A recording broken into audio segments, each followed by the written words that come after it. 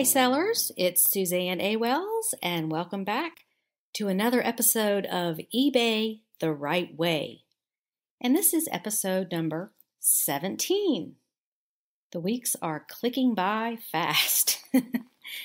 In addition to the usual and maybe unusual commentary, we're going to circle back to my series called Pandemic Aftershocks where we will look at how COVID related changes are affecting back to school this year. I've got some really interesting stuff and some input from teachers about how it's going to be different and how that can help you in your sourcing and selling efforts to know what's needed this year that's different in previous years. Because in 2020 back to school was very different. Masks were still being worn. And the protocol was pretty strict for those school systems that even went back in person. A lot of school systems still had shelter in place, and the kids didn't even go back until after Christmas. So, we're going to talk about all that and enlighten you on how it's going to work this year, and that might help you sell more stuff if you know what people need.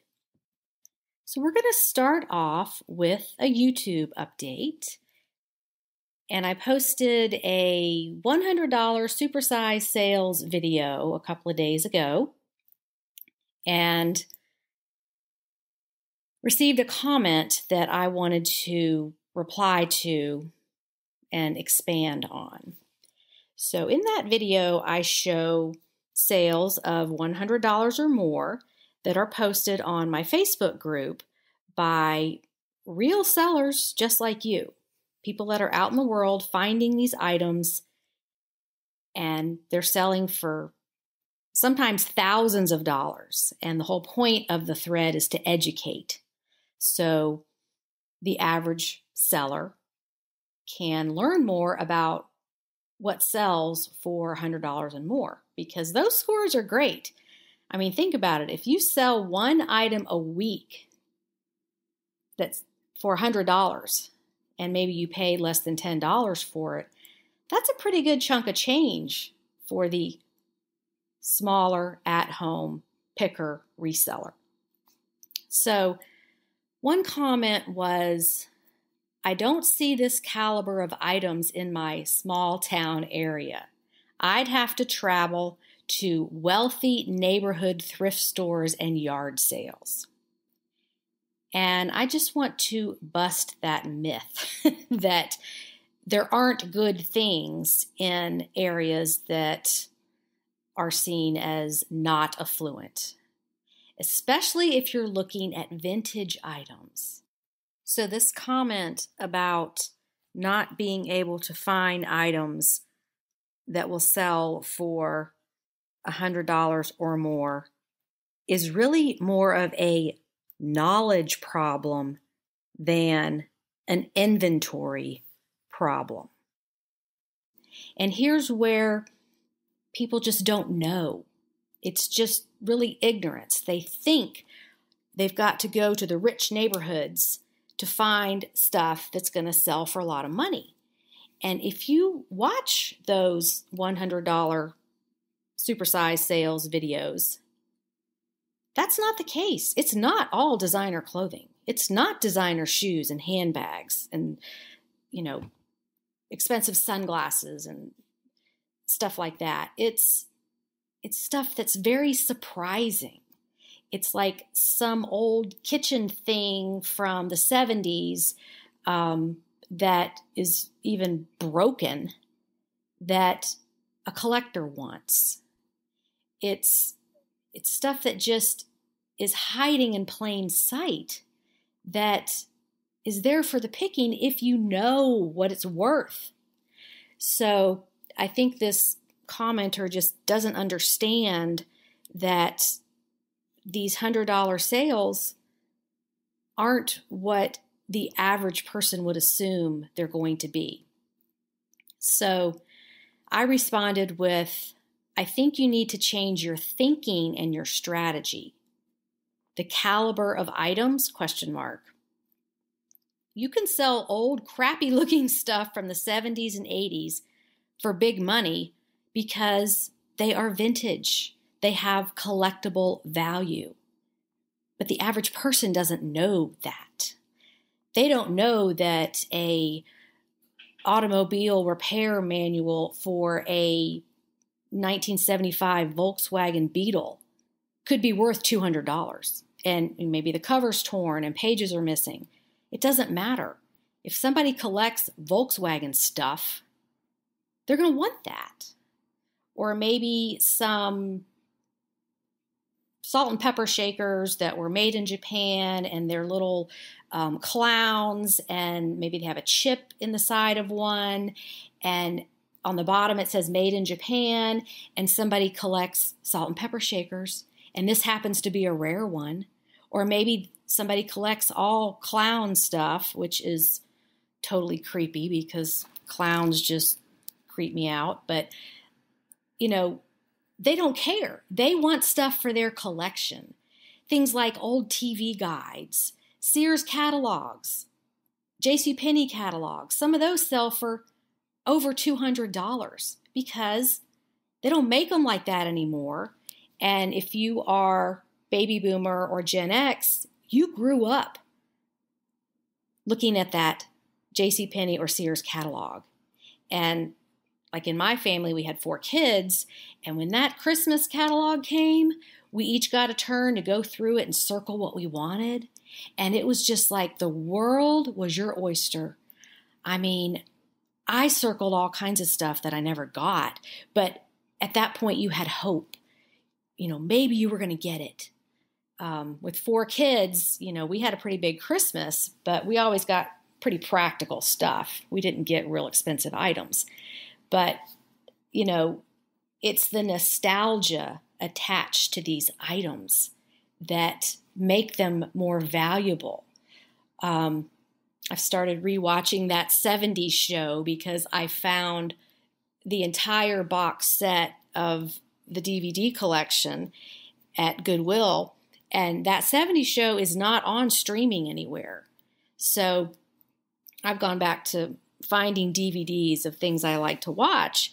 And um, I just look in the background the whole time. I'm like, oh, look at that old lava lamp. Oh, look at that t shirt Hyde is wearing, or, you know, Donna's shoes, or um, the stuff in the kitchen is just fascinating to look at. And I really don't even pay attention to the characters anymore. I go into uh, reselling mode and just look at stuff in the background. But that's what people want they want to relive their youth, their teenage years when they were 20 ish and young, and um, it was an exciting time. You know, that's what people want. So if this commenter on YouTube assumes that you have to go to affluent neighborhoods to find items that will sell for a lot of money, I just want to say right now, that is 100% wrong. that is just a false assumption. That is a misconception because it's all about what you know. And if you know you are an expert in, um, let's say, woodworking, let's say you do remodeling and you know all about tools, and you know you're in goodwill and you spot something sears craftsman from the 70s and you just automatically know that's going to be worth something or you know maybe you're into cooking and you know all about cooking gadgets and you know how to recognize the old stuff um, like the old pyrex that those patterns were discontinued and that stuff's really valuable. So that could be anywhere you know. The person it came from doesn't have to be affluent um, and as a matter of fact, small towns are some of the best places to find vintage items because, you know, I lived in a rural area for about six years. We lived on a farm in Tennessee outside of Chattanooga. And those people up there have been in those houses their entire lives. Those houses are 80 to 100 years old. And all the stuff that has come into those houses has been sitting there all this time.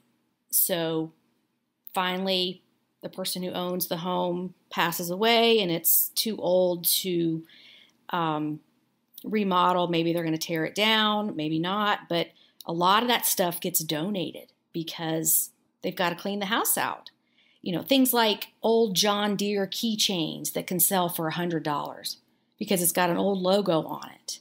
Um, just all sorts of things like that. So I hope this little speech has um, hit a nerve. If you think you have to travel to an affluent area to find good stuff, that's incorrect. What you need to do is educate yourself on what sells for a lot of money that doesn't look like it's expensive. That's where you need to do the work is learning so you can recognize these items. And a lot of those are in my Bolo handbook. So if you don't have that, you want to pick that up. Um, that's going to help educate you and flip that light switch on so that you can now see the light about what kinds of things have value. It's not all designer clothing and sunglasses and high-end handbags and jewelry. It's it's the other stuff that is just hiding in plain sight. So that is my speech. Okay, moving on to what happened in my eBay store this week. I had an amazing sale. I sold a Dunkin' Donuts tie. I think I mentioned this somewhere along the way as something I found, and it was $3, $3.18 to be exact.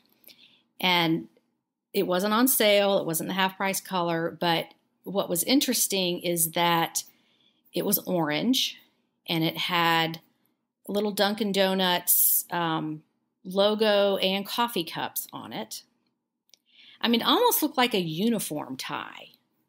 You know, some businesses provide that. But um, it was by Vineyard Vines, which is a higher end brand that their ties are, are fun and unusual and have cute patterns and wildlife and flags and all kinds of uh, nautical stuff and they're really fun. So we have an unusual pattern by uh, for a well-known company made by a high quality brand. And it was brand new. And so i did purchase that brought it home did my research and could not find another one like it online anywhere. Not on terapeak going back 365 days. Nowhere on google images. I went to the vineyard vine site and looked for it. Um, I'm guessing it may have just been a special order for uh, executives or something like that because there was just no photos of it, no information on it anywhere. So I thought, hmm, I've got something unusual here. I'm going to price that high. And I priced it at 149.97 because other logoed ties from big companies like that uh, that's what they were priced at. Maybe I could have gone higher because it could be a collectible, but I was okay with that. So it took about a month to sell, but it did sell for full asking price. You know, it was one of those sales that just no negotiation, no offer, no questions, just boom, there it is on your phone, item sold, ready to ship. And interestingly enough, uh, Dunkin' Donuts was their headquarters is, I think it's Quincy, Massachusetts. Anyway, this went to a city very close to that in Massachusetts. So, um, you know, here I am down in Georgia. I find this unusual, obscure tie with no information, and it sells for full price and goes right back to the city where the company is headquartered. So, that was a cool sale. um, yeah, that was fun. I was happy about that. And then what else did I sell? Just basic stuff swimsuits. I sold some wallpaper border, uh, a Brighton belt that went for $35. It cost me three, um, which is another perfect item for my business model because it's small, easy to ship, doesn't take up much room, isn't going to expire, uh, well known brand, Brighton. So that worked out. Um, you know, just some some random things like that. So it was a pretty steady week, and I cannot complain. Okay, moving on to something new I learned this week. And I actually learned this about an hour ago. I took a break from recording this podcast to take my packages to the post office and run some errands. And one of those errands was picking up my new prescription sunglasses from the Walmart Optical Center. Yes, that is the latest old person thing I've done is get prescription sunglasses because I just I don't wear my contact lenses to the pool or to the beach and I just thought, you know, it'd really nice to have that also for driving all these trips I'm taking now to go visit friends and stuff like that. So I thought, you know, I'm going to invest in a pair of nice prescription sunglasses with the UV ray protection. So I went to Walmart a couple weeks ago and they were actually having a sale, a clearance sale on some of their more expensive sunglasses. And there were some Ray-Bans in there, which I've never had. I have never had a pair of sunglasses that cost like over $10. I just never spent that kind of money on myself. So I was looking at those, and the employee said, Oh, well, we have a deal going on. If you get a clearance frame, then the prescription part, the lenses are free. And I was like, Whoa, where, where do I sign up for this? So went ahead and, you know, did the deal and cost me $145 for a nice pair of Ray-Ban Wayfarers with my prescription. So when I went to pick them up just a little while ago, the girl was checking me out and she's like, Oh, do you want the original glass lenses that were in these frames that we took out to put your prescription lenses in? And the first thing that went through my mind was, Oh gosh, I bet I could sell those on eBay. And I was like, Yeah, sure, of course, I'll take them. So as soon as I got home, I looked that up and yeah, sure enough, you can sell the lenses. And you know, I've got the paperwork showing they're authentic and they're brand new, obviously, and you know, people will need replacement lenses for their sporty sunglasses.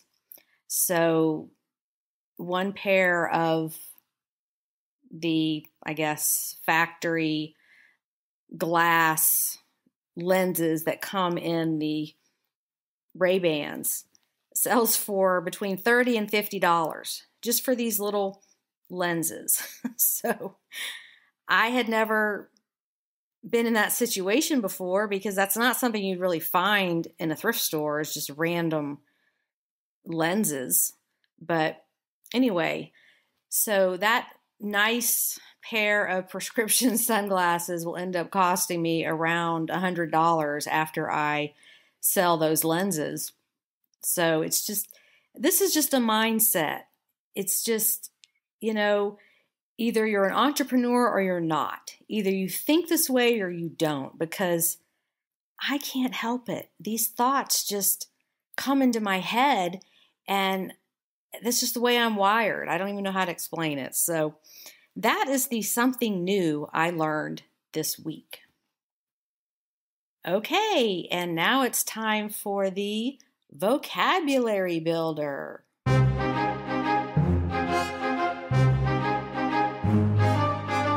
And the word this week is demitasse, spelled D E M I dash T A S S E. It's a French word and it means half cup. And this refers to those little bitty, pretty, small coffee cups. So the actual definition is demitasse is French for half cup. This small coffee cup holds about two to three ounces. They are half the size of a regular coffee cup, hence the name half cup. It is a common misconception that demitasse cups hold or should hold one half of a measure of four ounces. The name refers to one half coffee cup, and they're usually two to two and a half inches tall. Okay, let's go over the uses of demitasse cups. Demitasse cups are most often used to serve Turkish coffee, espresso, single shots or double shots, and other highly concentrated coffee drinks, such as Greek coffee. They may also be used for hot chocolate and other hot drinks in cafes, restaurants, and homes, though this is less common. Demitasse cups most often appear in restaurants after dinner. They can be seen in many cafes and coffee houses throughout the day. Some people prefer to use French roast coffee rather than espresso roast or Italian roast coffee when serving espresso in a demitasse cup. This gives it a more pronounced French influence. Since French roast coffee is a lighter roast than Italian or espresso roast, it will have slightly more caffeine. So there you go. Your vocabulary builder is demitasse, not to be confused with Demi Moore. Sorry, I couldn't resist. And now for the main topic of the podcast Pandemic Aftershocks Part 3 How Back to School Will Be Different in 2021. Today's date is July 13th, and in the county where I live, school starts back on August 2nd. So that's three weeks from now. And we're already seeing some indications of back to school in retail stores with the shelves changing from summer and July 4th merchandise to back to school items. So, back to school, whether it's homeschool or physically going to a public or private school or preschool or kindergarten or college, is a regular marketing cycle in retail and usually includes the obvious things like paper supplies, notebooks, writing utensils, backpacks, items for younger students like crayons, glue, and for high school students, the lists include calculators, computer accessories, locker organizers, and so on. Now, I look for school and office supplies to sell on eBay all year because many are replenishable and will be needed all through the year. But there's definitely a buying surge during the late summer and early fall as kids all over the United States officially head back to school. Now, in 2020, back to school was very different than any other year in modern history as some public and private schools were still doing virtual classes. Some schools had a hybrid system of in person days and virtual at home days. So it just depended on where you live and what your school system required. So here we are in July of 2021, And I think back to school won't ever be the same as it was pre COVID. But once again, as resellers, we can look at change as opportunity and figure out how to position ourselves to take advantage of these opportunities. And remember, back to school means supplies for teachers, homeschooling parents, kids from preschool to college age, homeschool, as well as public and private school. The first advantage we have is actually two factors combined into one important factor. We sell online and we have the products in stock at our fingertips to ship immediately. This is a huge advantage for us because we can accommodate customers immediately. And I'll use the analogy of the powerful little tugboat that can move boats around that are a thousand times their size, and they can maneuver in small spaces, compared to the huge ships that aren't nimble and can't even turn around in some spaces. So we're like that powerful little tugboat. We're small and mighty and nimble, and we can move fast. So here's a scenario.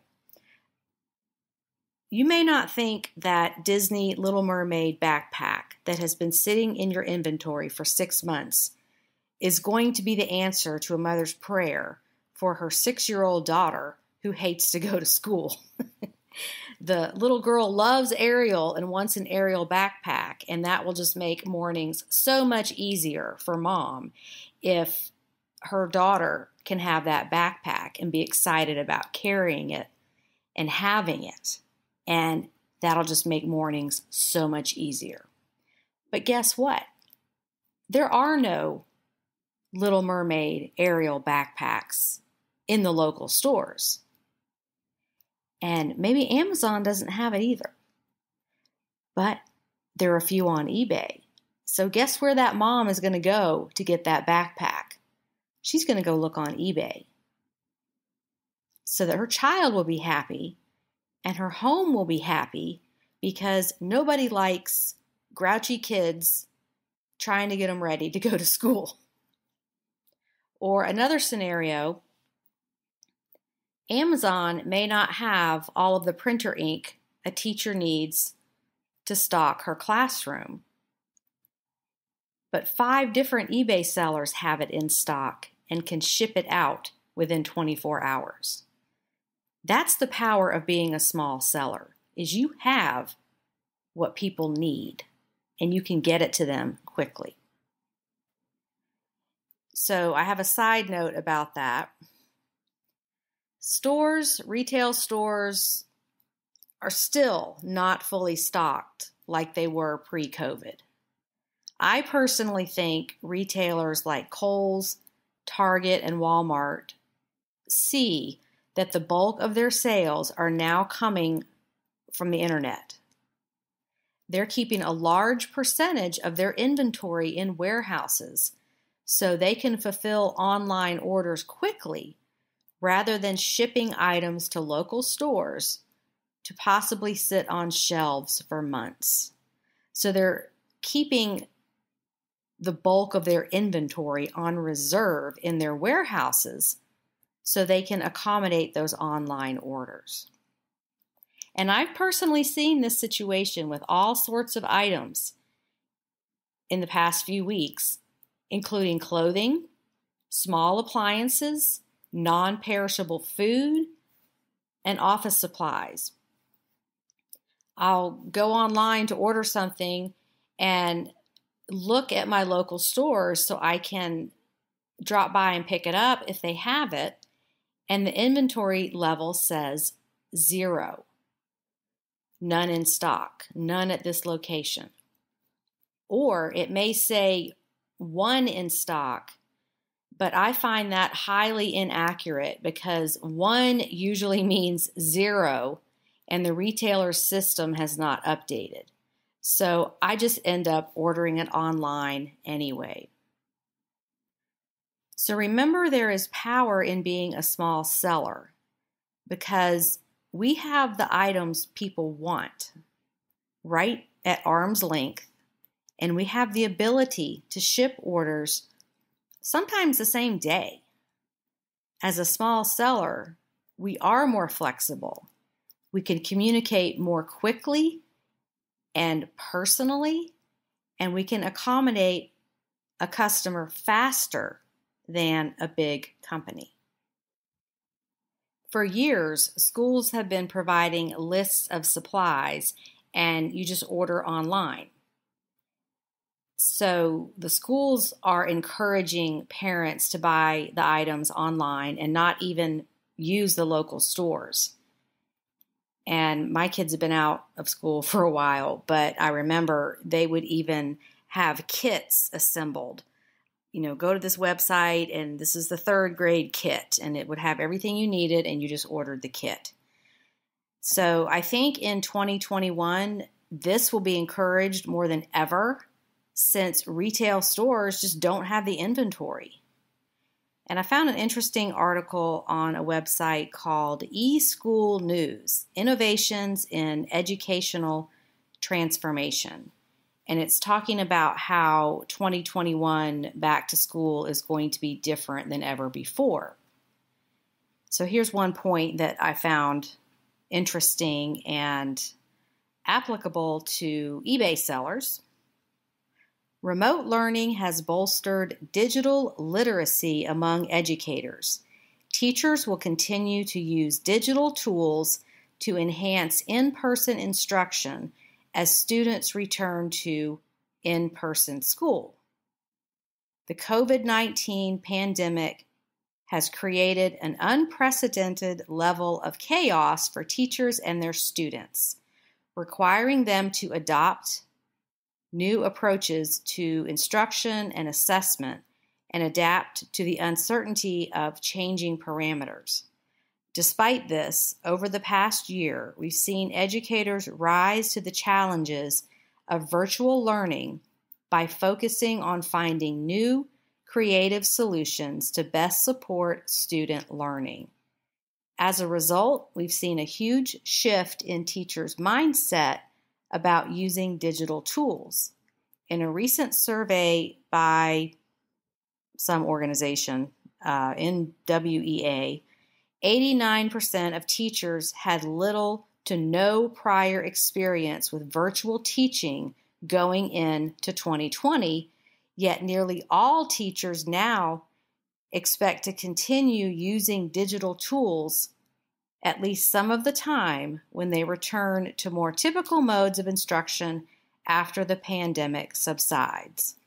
Looking to the 2021 22 school year, Educators are anxious to get back into the classroom with their students and will be taking this digital experience with them to further enhance teaching and learning. So, digital literacy means knowing how to use technology for virtual learning. And a lot of this was figured out in 2020 during the height of the stay at home period. So, what they learned, teachers and students, what they learned about virtual learning is now becoming standard. And everybody's a lot smarter about how to use technology for distance learning. So, these items needed for distance learning may need to be replaced or upgraded for 2021 as teachers learn more about how to improve the technology or efficiency of virtual learning. So, all of that means things like headsets, microphones, anything that has to do with being on the computer, props they wouldn't have used in the classroom, but they're using it in their Zoom presentations, stuff like that.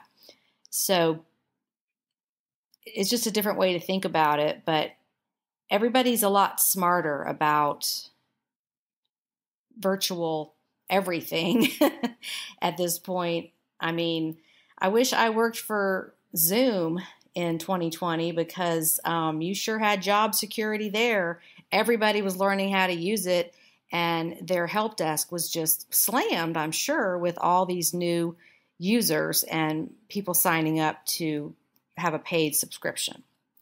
So, anyway, I reached out to some of my teacher friends to ask them about how back to school for 2021 might be changing for them to get some insight on maybe some items that they would be purchasing for their classrooms. So, the first person I reached out to was my cousin, Janet, who is a fifth grade teacher. And she said, uh, she's a teacher in a public school. Students now have individual Chromebooks and headsets are also provided. Our district will not be doing hybrid. All ours will be coming back unless they have a medical reason or doctor's note to learn at home. Last year was nuts as I taught 23 to 15 in classroom and 8 at home, zooming at the same time. We're going to continue social distancing, three feet, and at the present, I don't think we'll require masks as the governor says no, but our district is slow. I would say the biggest challenge post COVID is that students no longer share supplies. In some classes like art and PE, they have to. We have plexiglass barriers in the office, and supposedly we'll be getting those for teachers' desks. The students will not get these. So, back to her comment about students now have individual Chromebooks and headsets are also provided. So, that's for every student in the classroom. That's a lot of headsets. So, you never know if people are going to Amazon to get these and they're out of stock, which is common they could be going over to eBay to see what's available there. Okay, my next friend, Colleen, she replied with In my middle school, I can no longer share pencils, markers, whiteboards, pencil sharpeners, etc., so we'll buy a lot of extras. The only thing different this year for our supply list is headphones.